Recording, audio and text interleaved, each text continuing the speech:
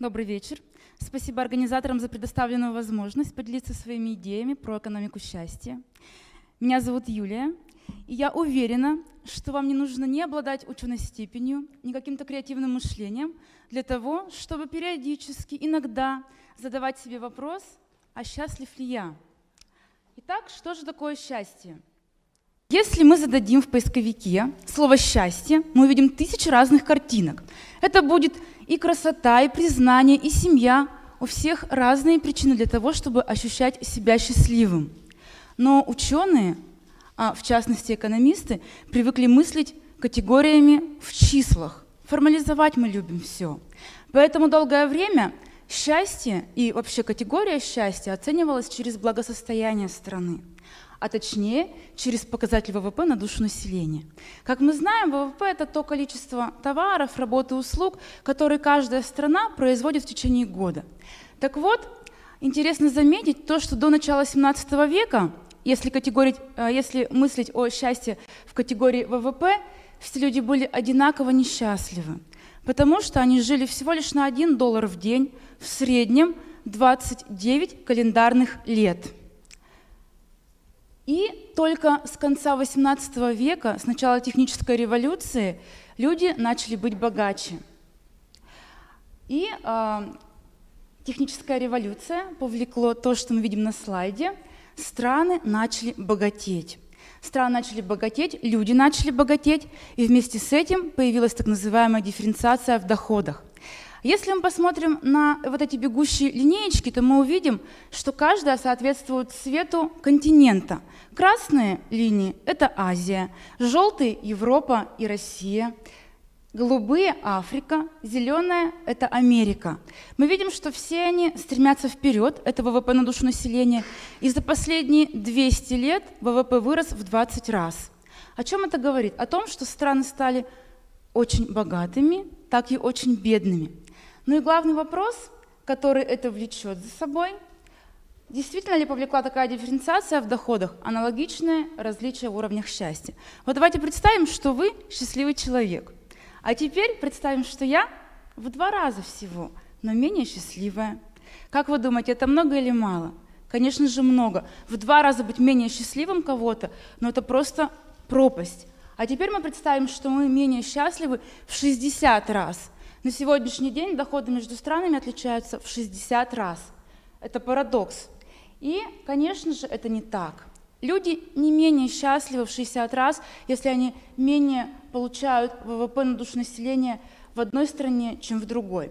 Этот парадокс очень хорошо видно на карте, дальше я ее представлю, а, которая показывает интегральный индекс международного счастья, рассчитываемый а, форумом новой экономики – так вот, в этот индекс входят три показателя. Это субъективная удовлетворенность людей жизнью, это ожидаемая продолжительность жизни и экологический след. Причем первый показатель, он рассчитывается с помощью анкетирования, а второй, он статистически известен везде, а экологический след – это то, как страна воздействует а, на среду своего обитания. И что же мы видим? Наиболее богатые страны, это Америка и страны Евросоюза, они совершенно не являются самыми счастливыми. А самые счастливые зеленые страны – это страны Латинской Америки, Мексика, Аргентина и Чили.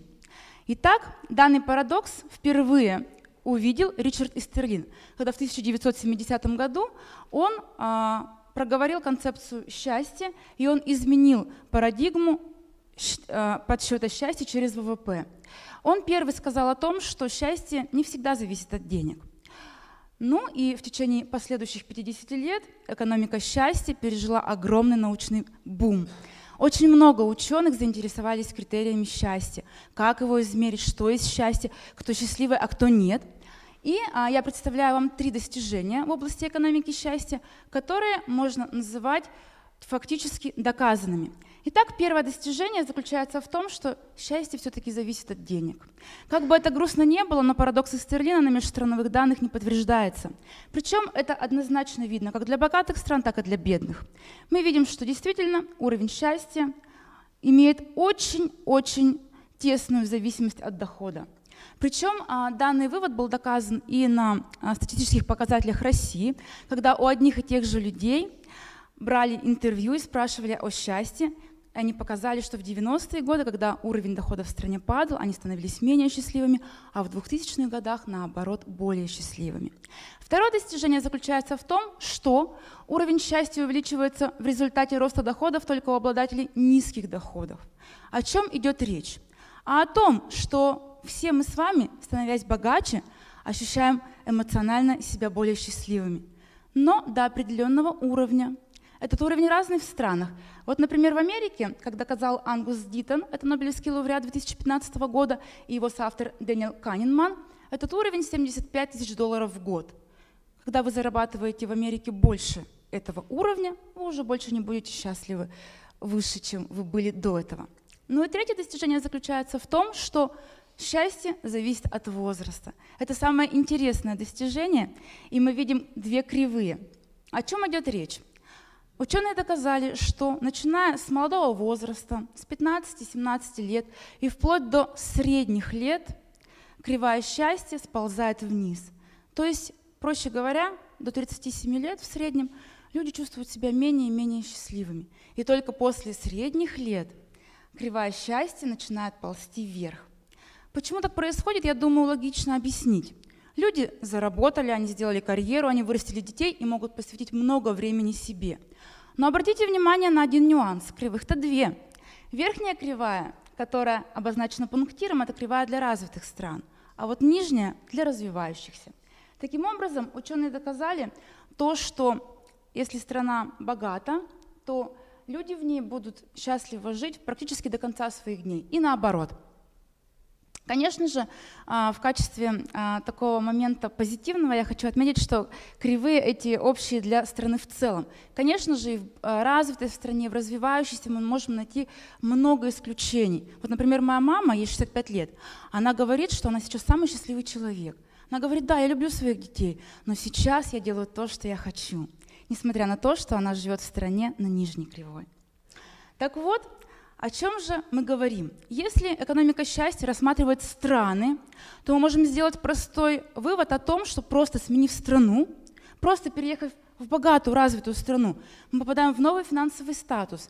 И очень часто мы слышим такое выражение, что минимальный уровень жизни в развитой стране намного, намного превышает средний и даже высокий в развивающейся. И мы видим статистику. Ежегодно 250 миллионов мигрантов уезжают со своих малых родин, кидают свои города, семьи иногда, работу и так далее для того, чтобы найти себя в новой жизни. Представьте, 250 миллионов человек, это примерно два населения России, ежегодно мигрируют. Что же люди ищут? Ну, конечно же, в первую очередь, более высокого удовлетворения своих потребностей. А, и статистические данные сухие, они абсолютно это доказывают полностью.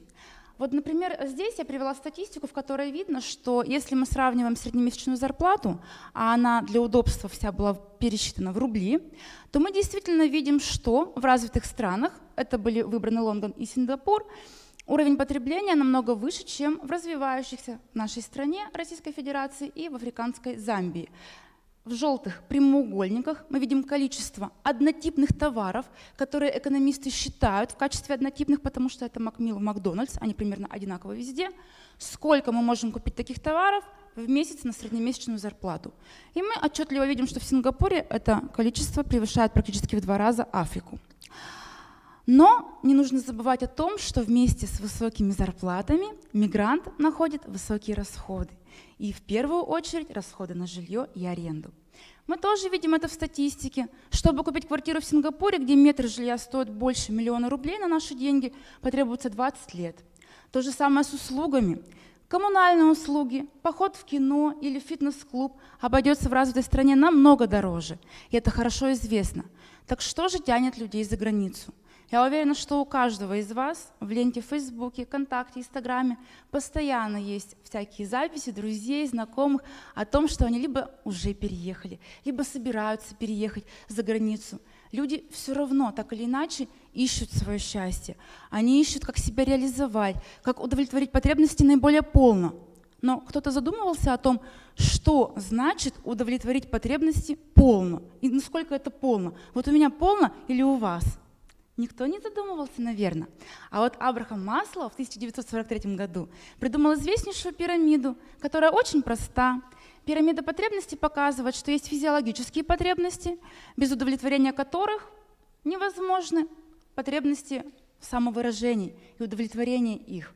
Но Абрахам Маслоу в 1943 году даже не мог представить о том, что цифровая революция подарит нам еще одну потребность. Это потребность социального одобрения в социальных сетях. На сегодняшний день ежедневно тысячи, миллионы людей выкладывают сторис и оценивают другие контенты. Мы оцениваем, нас оценивают, мы меняем мировоззрение других людей, другие люди меняют наше мировоззрение, наша жизнь полностью перестала быть потемками. Ученые доказали, что минимальное количество лайков, просто ниже, чем вчера, обеспечивает людям депрессию. Таким образом, конечно же, это важная а, сторона, которая приводит к тому, что порой у людей занижается самооценка. Ну, бог с ней самооценка, если мы видим успехи наших знакомых, друзей в работе или в личной жизни. Но когда мы видим картинки с красивыми локациями, с красивой природой, с красивыми географическими объектами, то мы начинаем думать, что где-то далеко есть счастье, а вот у нас вот так все серо и уныло. И поэтому люди, конечно же, уезжают.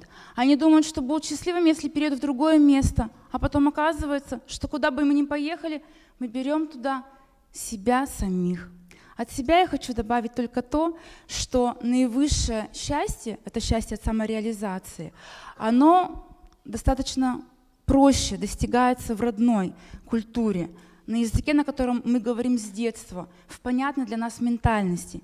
И поэтому я желаю вам быть счастливыми здесь и сейчас, и чтобы ваше индивидуальное кривое счастье, несмотря ни на что, где вы живете сейчас, стремилось только вверх. Спасибо.